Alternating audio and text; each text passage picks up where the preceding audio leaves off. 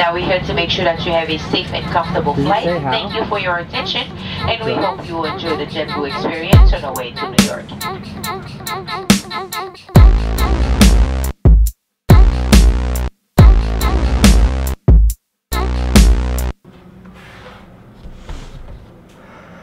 Four twenty-five in the AM. We're about to leave this hotel in Fort Lauderdale to get our flight back to New York City. Did you forget anything? Let's go. We got to bed at like 1.30 last night, so all sleepy.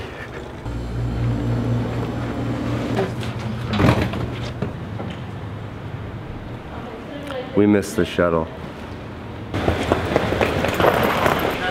That's it.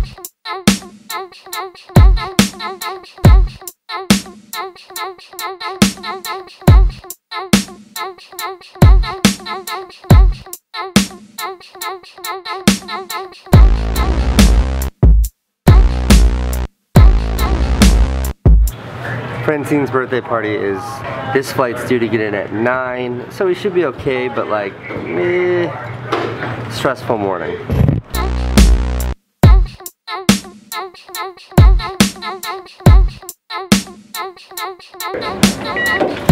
And we are boarding the flight now. We're the fourth and fifth people, respectively, allowed on the plane. That's not bad. Flying JetBlue because our American Airlines flight didn't get us in in time. How's your cheeseburger?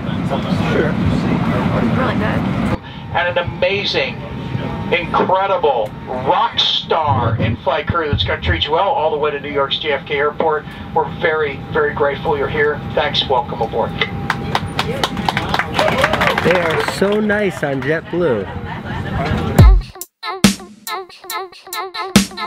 Candice isn't sitting with me.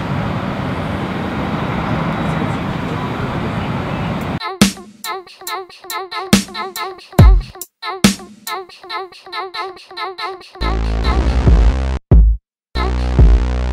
are landing in New York City right now. Candice is still sound asleep.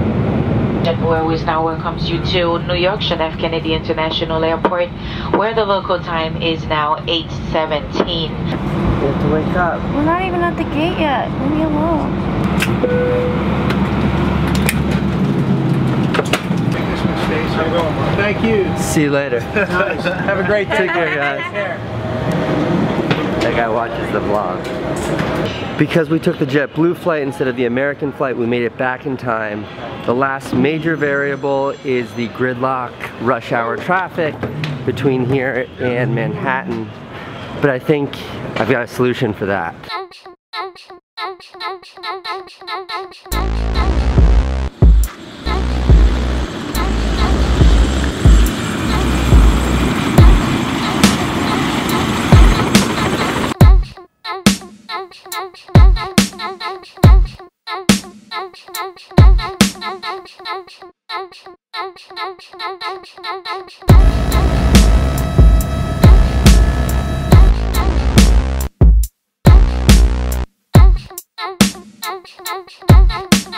Bye.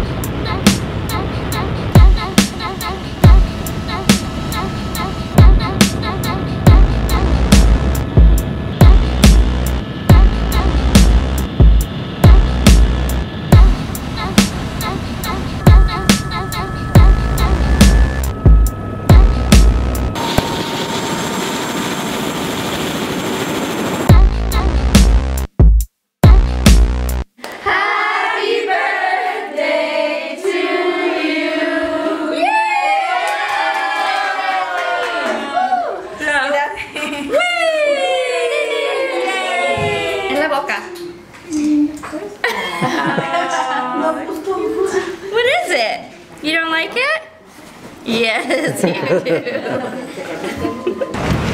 Fabulous birthday party. Entirely worth chartering a helicopter to make it to.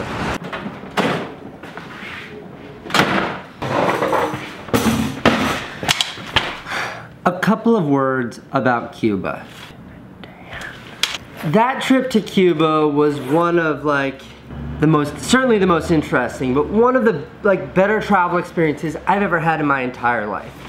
It was like visiting another world and another time and another. And as I was rewatching the vlogs that I shot there, I feel like I really romanticized what I experienced in Cuba.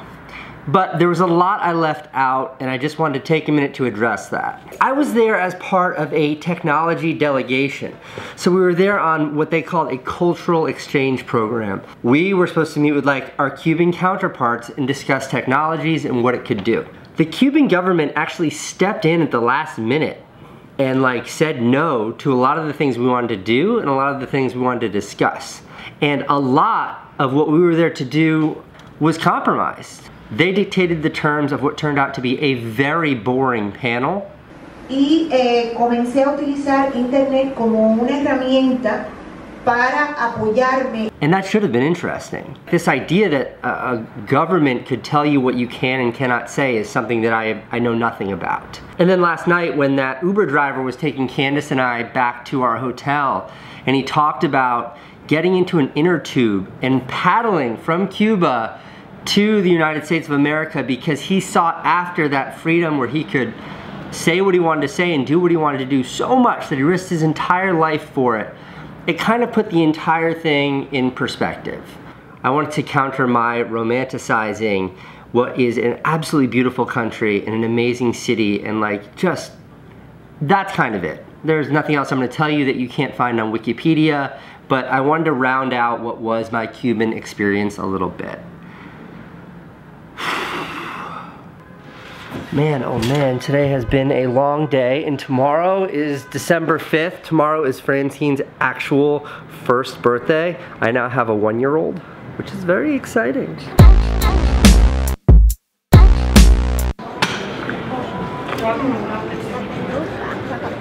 Hello and welcome to John F. Kennedy International Airport.